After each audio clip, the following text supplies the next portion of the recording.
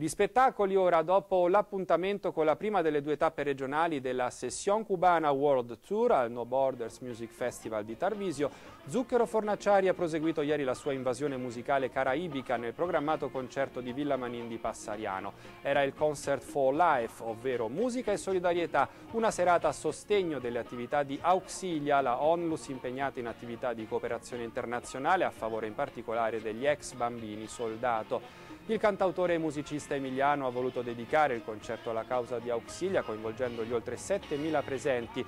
Zucchero Fornaciari ha proposto tutti i brani del suo nuovo show, la sessione cubana. Sul palco è stato accompagnato da 16 musicisti, 11 dei quali cubani.